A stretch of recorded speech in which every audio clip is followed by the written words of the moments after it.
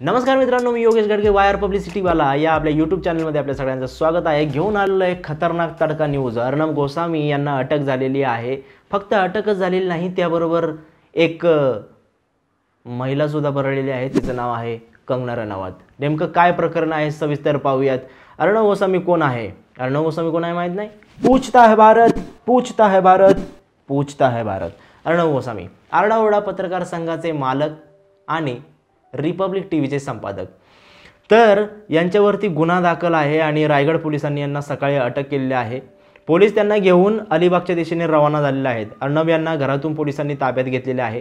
रायगडमधील आत्महत्या प्रकरणात त्यांना चौकशीसाठी ताब्यात घेतलेले आहे असं समजतंय. तर नेमकं काय प्रकरण होतं? तर जे अन्वय नाईक जे आहेत हे एक इंटेरियर डिझायनर आहेत. इंटेरियर डिझायनर होते. त्यांनी आणि त्यांच्या सहकार्याने अर्णव गोसावी यांच्याकडं काम केलं होतं आणि त्याचे पैसे परत न मिळाल्यामुळे मोबदला न मिळाल्यामुळे डिप्रेशनमध्ये येऊन नाईक यांनी आत्महत्या केली होती. त्यांच्या बायकोने अर्णव गोसावी याच्या विरोधात तक्रार केली होती आणि त्या चौकशीसाठी पोलिसांनी अर्णव गोसावीला अटक केलेली आहे. अर्णव गोसावी हा एक पत्रकार आहे आणि विनाकारण आरडाओरडा करणारा पत्रकार आहे. अक्षरशः त्याची पत्रकारिता म्हणजे पत्रकारी पत्रकार संघावरती एक कलंक असल्यासारखं वाटतं. फक्त एवढंच प्रकरण नाही आहे तर अर्णव गोस्वामीला अटक केल्यानंतर कंगना रनावतसुद्धा नको ते बरळले आहे. नेहमी चर्चेत येण्यासाठी कंगना रनावत काही ना काहीतरी इंस्टाग्रामला पोस्ट करत असते ट्विटरला पोस्ट करत असते.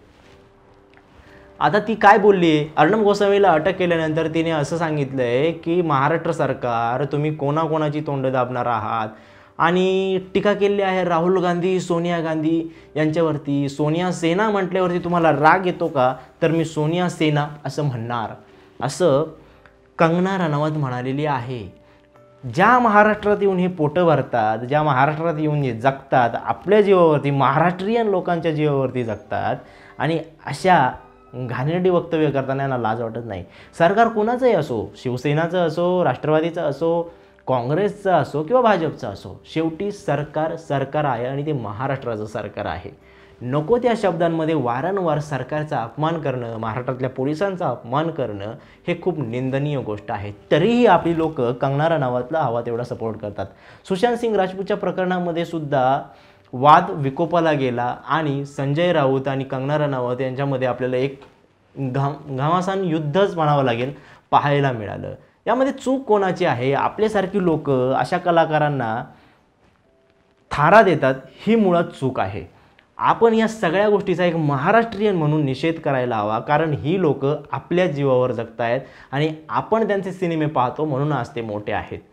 अशा अशा अशा महाराष्ट्रात येऊन महाराष्ट्राला बदनाम करणाऱ्या कलाकारांचा आपण निषेध करून त्यांच्यावरती त्यांच्या सिनेमांवरती बहिष्कार टाकला पाहिजे. म्हणजे त्यांचे सगळे भुंकण्याचे मार्ग बंद होतील. तुम्हाला काय वाटतं की कंगना रनावत जे हे बोलतीये ती योग्य आहे की अयोग्य आहे? प्रत्येक वेळी आणि वारंवार महाराष्ट्राचा अपमान करणं स्वतःला सिहीन म्हणणं आणि आपल्या महाराष्ट्र सरकारला लांडग्यांचा कळप म्हणणं हे कितपत योग्य आहे? या सगळ्या गोष्टीची खरं तर निंदा करायला हवी आणि या गोष्टीचा निषेध करायला हवा. तर या गोष्टीचा मी जाहीर निषेध करतो की कंगना रनावत जे बोलते वारंवार महाराष्ट्राचा अपमान करते कंगना जर तुला पब्लिसिटीचा एवढाच शौक असेल तर एखादी मीडिया एजन्सी बघ आणि तुझी स्वतःची चांगली पब्लिसिटी करून घे. त्यासाठी प्रत्येक वेळी महाराष्ट्राला महाराष्ट्रातील लोकांना आणि महाराष्ट्रातील जनतेला अपमानित करण्याची गरज नाही.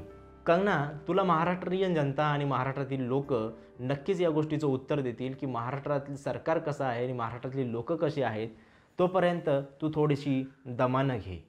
धन्यवाद.